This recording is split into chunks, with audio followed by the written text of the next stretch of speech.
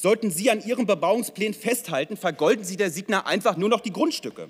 Signa wird dann zu maximalen Preisen verkaufen, das verspreche ich Ihnen. Dann ist das Ziel erreicht. Bevor irgendein Bau beginnt, ist das Warenhausgeschäft endgültig abgewickelt. Signa hatte noch nie ein Interesse am Warenhausgeschäft und Galeria Kaufhof und Karstadt sind dann Geschichte. Das ist die traurige Realität, mit der Sie sich mal auseinandersetzen müssen, die Sie mal zur Kenntnis nehmen sollten.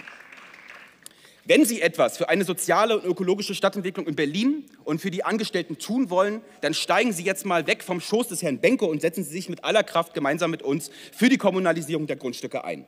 Geben Sie das Planungsrecht an die Bezirke und unterstützen Sie eine soziale, eine ökologische, eine Neuplanung, eine partizipative Neuplanung, die tatsächlich dieser Stadt Rechnung trägt.